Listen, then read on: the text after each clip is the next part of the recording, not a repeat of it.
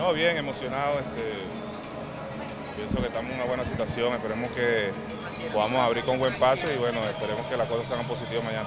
¿Cómo son las emociones para el juego de, de República Dominicana? Una gran rivalidad, pero también una gran amistad. No, buenísima, va a ser un juego muy emocionante.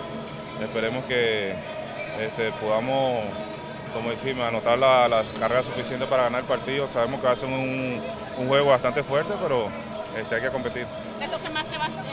Llevando de estos momentos, o sea, emocionalmente, compartiendo con los? No, todo, todo. Este, yo pienso que tengo una buena posición, agradecido con Dios con esta nueva oportunidad y bueno, esperemos que todo salga bien. Gracias. Miguel, sentimiento agridulce, este último clásico. ¿Cómo? Un sentimiento, me imagino, agridulce, último clásico para ti, mundial de béisbol. ¿No te gusta el agridulce? Todo bien, todo bien. Esperemos que vengamos preparados mental, físicamente y bueno, esperemos que podamos ganar el partido.